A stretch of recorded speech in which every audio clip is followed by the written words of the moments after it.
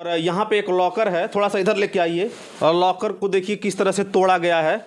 आप लोग ध्यान से देखिए, यहाँ पे इस लॉकर को देखिए किस तरह से तोड़ा गया है।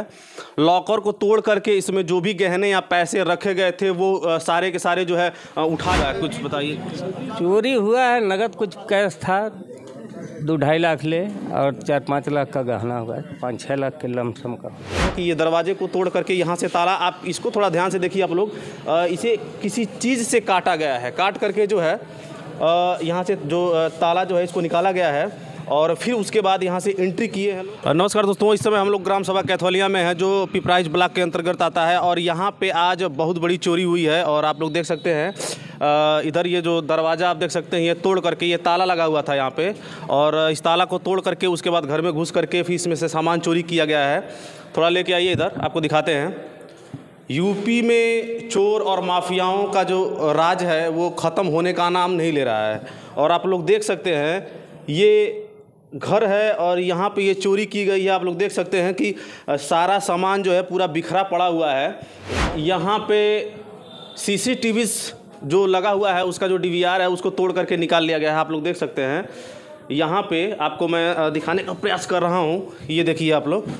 सीसीटीवी फ़ोटो का जो डीवीआर होता है, वो यहाँ पे लगा था। उसको तोड़ करके निकाल ले गए हैं चोर जो है कि पता ना लग पाए कि चोरी किसने किया है और यहाँ से जो डेटा होता है, वो डेटा अगर पुलिस के पास दी जाती है या वहाँ पे जो है इंक्वायरी के लिए ले जाया जाएगा या पुलिस आती है इंक्वायरी के लिए कि सीसीटीवी फ़ोटोज़ के द्वारा जो है अपराधियों को पकड़ा जाएगा जो चोर हैं तो वो लोग इसमें से घुस करके, इसको तोड़ करके या इसका जो अंदर का जो डीवीआर है वो उठा ले गए हैं और इधर लेके आइए थोड़ा सा इधर भी आपको दिखाते हैं। यहाँ पे आप लोग देख लीजिए। यहाँ पर भी आ, बहुत बड़ी चोरी हुई है आप लोग देख सकते हैं। यहाँ पे तोड़ करके ये दूसरा रूम है और यहाँ पर भी देखिए आप लोग ताला तोड़ करके सामान उठा ले जाया गया है। जो वहाँ उनके ले जाने लायक है यहाँ पर देखिए अलमारी है सामान पूरा बिखरा पड़ा हुआ है। आप लोग देख सकते हैं और यहाँ पे एक लॉकर है थोड़ा सा इधर लेके आइए। और लॉकर को देखिए किस तरह से तोड़ा गया है। आप लोग ध्यान से देखिए, यहाँ पे इस लॉकर को देखिए किस तरह से तोड़ा गया है। लॉकर को तोड़ करके इसमें जो भी गहने या पैसे रखे गए थे, वो सारे के सारे जो है उठा ले गए हैं।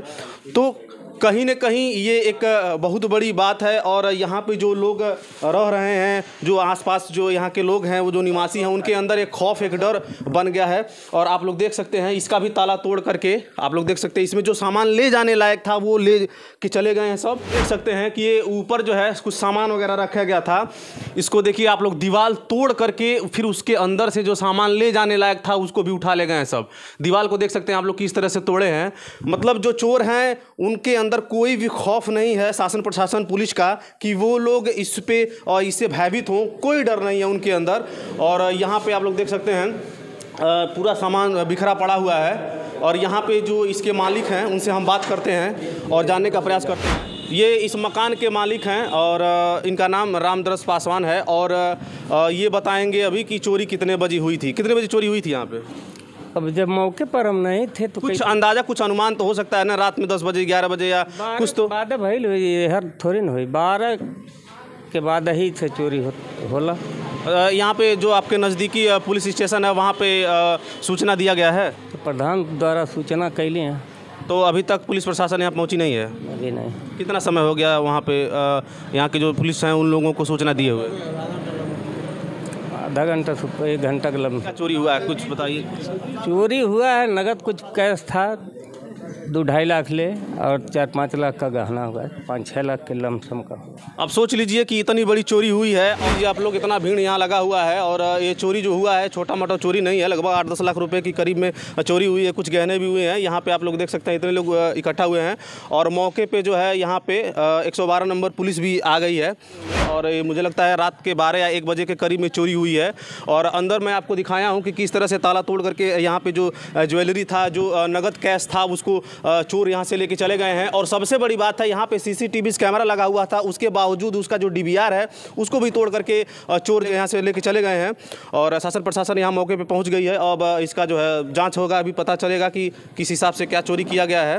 तो आप लोग देख सकते हैं कि ये दरवाजे को तोड़ करके यहाँ से ताला, आप इसको थोड़ा ध्यान से देखिए आप लोग। इसे किसी चीज़ से काटा गया है। काट करके जो है यहाँ से जो ताला जो है, इसको निकाला गया है। और फिर उसके बाद यहाँ से एंट्री किए हैं लोग, अंदर घुसे हैं। और उसके बावजूद आप देख सकते हैं, बाहर सीसीटीवी कैमरा लगा हुआ है। और डर नाम का कोई चीज़ नहीं है। अंदर भी आपको मैं दिखाया हूँ कि जो डीवीआर होता है, उसको तोड़ करके लोग उसका जो सिस्टम है, वो उठा ले गए हैं। तो आप लोग सोच सकते हैं और आप लोग देख भी सकते हैं कि यहाँ पे जो चोर हैं या फिर माफिया हैं, उनके अंदर भय नाम का कोई चीज़ है नहीं।